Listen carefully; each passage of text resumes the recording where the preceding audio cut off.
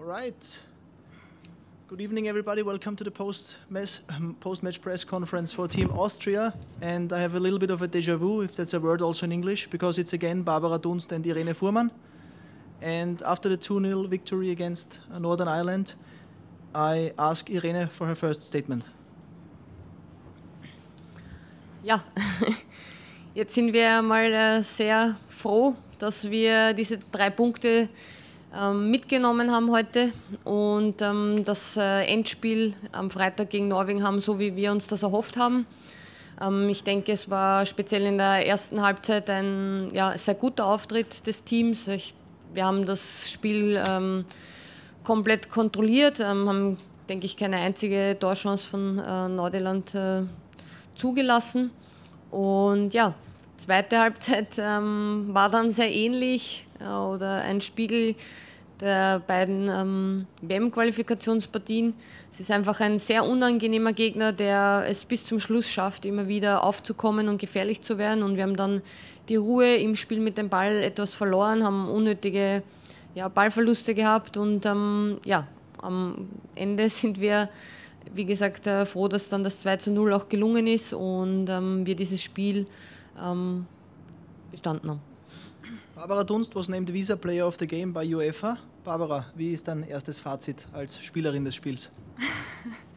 ähm, ja, ist natürlich, ähm, hat mich natürlich sehr gefreut, aber nichtsdestotrotz, ich glaube, heute war jeder Spiel, Spielerin am Platz Spielerin des Spiels. Ähm, ja, ich muss da wirklich sagen, die Mannschaft die gibt mir unglaubliche Sicherheit und da kann ich mich echt entfalten und das muss ich auch wirklich mal so erwähnen. Ähm, ich fühle mich wirklich sehr wohl mit ihnen und ähm, ja, für mich war einfach wichtig, gestern habe ich schon gesagt, egal wie, wir haben die drei Punkte geholt und ja, das war halt wirklich ähm, sehr, sehr wichtig für uns.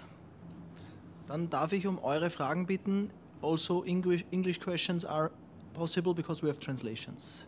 Birgit Ritzinger, bitte. Der Mikrofon. Warum ist es denn in der zweiten Hälfte nicht mehr so gelungen, Druck auszuüben wie in der ersten? Ja, weil wir einfach nicht so souverän agiert haben wie in der ersten Halbzeit, weil wir einfach ähm, ja, die Ruhe am Ball verloren haben und, und da es einfach dann Nordirland ähm, ermöglicht haben, sozusagen aufzukommen. Und ähm, ich denke, man hat dann einfach äh, gemerkt, dass ähm, es vielleicht dann doch heute ein Muss war zu gewinnen und kein Können. Daniel Jarowsek, bitte. Irene und Babsi vielleicht beide. Ähm, nach dem England-Spiel war sie zu teilweise zufrieden trotz Niederlage. Heute ist man vielleicht unzufrieden trotz Sieges eventuell, weil man halt paar Chancen auslassen hat zum Schluss noch, die vielleicht nicht unwichtig gewesen wären im Sinne des Torverhältnisses? Ja, unzufrieden würde ich jetzt nicht sagen. Es war einfach jetzt ähm, speziell zweite Halbzeit dann einfach äh, ein Kampf, sage ich jetzt einmal. Ähm, und ähm, wir hätten uns erste Halbzeit einfach leichter getan, aber wir sind jetzt wieder bei dem Punkt, dass wir einfach im Angriffsdrittel einfach diesen letzten Pass sauberer spielen müssen und da einfach ähm, ja, ähm, noch konzentrierter ans Werk gehen müssen. Aber am Ende haben wir diese Routine, diese, solche Phasen, wie es dann in der zweiten Halbzeit war, auch, auch zu überstehen.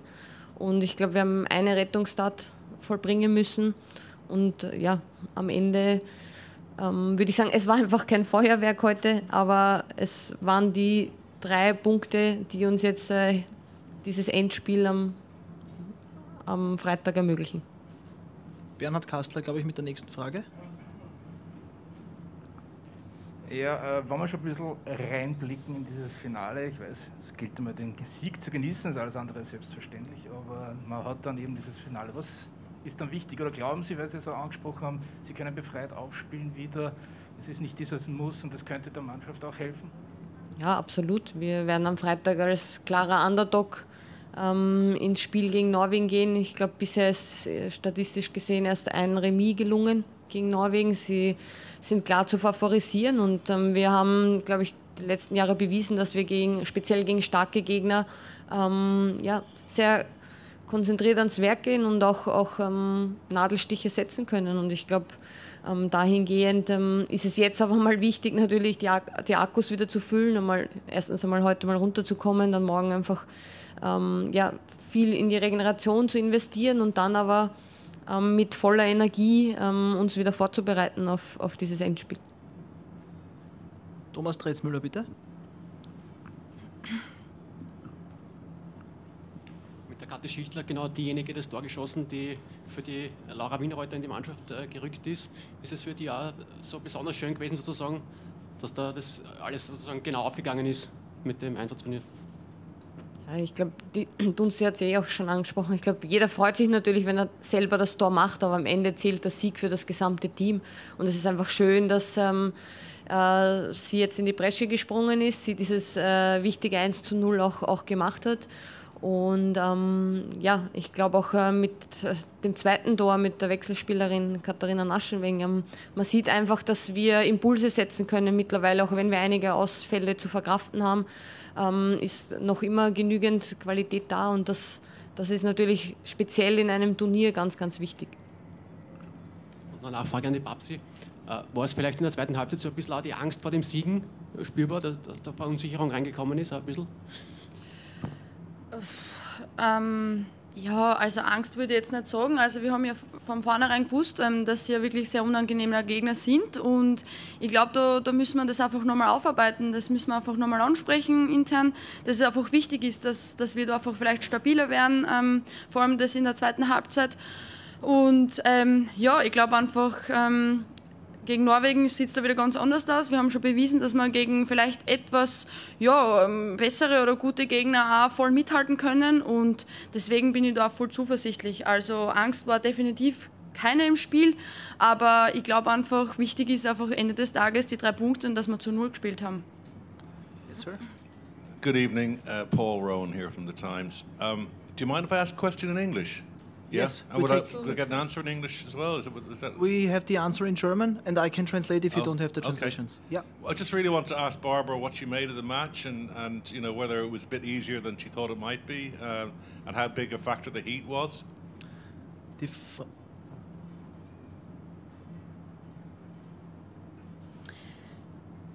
Ähm, ja, wie gesagt, ich finde, ähm, ja, wie erwartet, wir haben gewusst, sie sind wirklich ein sehr, sehr unangenehmer Gegner. Ähm, ja, ich glaube einfach, dass sie, ja, wie in der Vergangenheit einfach auch gezeigt haben, dass sie vor allem in der zweiten Halbzeit dann nochmal echt Impulse setzen können.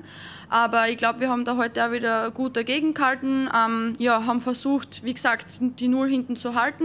Und ja, wir sind bei einer Europameisterschaft und da darf man einfach keinen Gegner unterschätzen und so wie wir Nordirland auch nicht unterschätzt haben.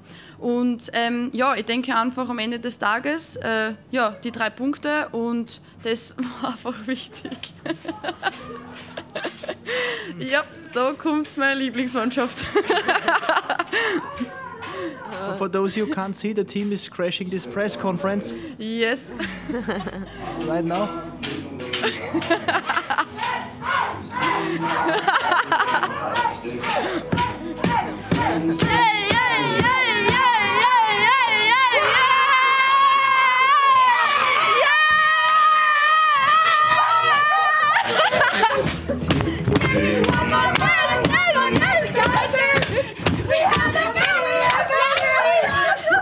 We've had a million, million nights just like this. So let's get down, let's get down to business. Let's get down, let's get down to business. This. We've had a million, million nights just like this. So let's get down, let's get down to business. Back and forth, back and forth. Motion. I said it before, I didn't mean it. It's been a while since I had your attention. Tschüss. Yep, das sagt schon einiges aus. I, I was going to ask, whose idea is the conga? Whose idea is the what? The conga. I don't know. I mean, they have crazy ideas all the time. But sir, I didn't forget to the translation to your uh, to Oh, Papsi's yeah. answer. Okay. So she said, as expected, um, Northern Ireland was the uncomfy opponent uh, that we expected, as I said, and they showed uh, in the also in the World Cup qualification and also today what they are capable of doing, and we managed to hold them away from our goal, nevertheless. And we are at the Euros, so there is no uh, weak opponent and nothing to be surprised of. And, and just just on what we've seen there uh, with the with the teams with the players coming in, Um, and you mentioned that they do some crazy things. Like, what is the atmosphere like in the camp, and, and how much do they like to keep it kind of light and, and kind of fresh?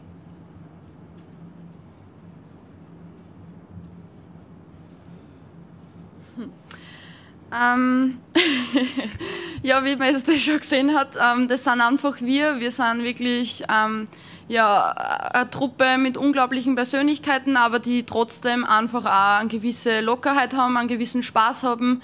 Ähm, wo ich wirklich sagen muss, unsere älteren, erfahrenen Spielerinnen ähm, integrieren einfach jede Junge oder jede Spielerin, die was neu dazukommt, versucht einfach ja, diese Werte mitzugeben, was wir einfach verkörpern. Ich kann es einfach nur von mir sagen. Damals, wo ich dazugekommen bin, ähm, ja, jetzt äh, Vicky, äh, Karina, das sind Spielerinnen, die, die kommen so anher, die versuchen, die zu integrieren, die geben da was mit im Training, im Spiel. Das sind wirklich, ähm, ja, da ist jede Spielerin geht da voran, jede Spielerin darf sich bei uns entfalten. Ähm, und ähm, das ist einfach sehr, sehr wichtig. Und ich glaube, von denen leben wir einfach. Ich glaube, wir zeigen das einfach am Platz, dass wir ein unglaubliches Kollektiv haben. Und ja, wir haben es gezeigt gegen England, dass wir ein unglaubliches Kollektiv haben. Und ähm, ja, das, das werden einfach auch immer wir bleiben. Thank you for the short answer, Barbara. Ja, das taugt mir da. Langsam wird's. So basically, she said that what you just saw, what you just witnessed, that is we. That is who we are. And we have a lot of great personalities on the team that are obviously having a lot of fun. And uh, special is that the younger generation um, is being part of the team from the very first day. So the older players, um, Vicky Schnaderbeck, Sarah Buntigam, they are role models and they also act like what they are. And showing everybody that every piece of the team is as important as the other one. And that's pretty much it. Thank you. One last, Daniel.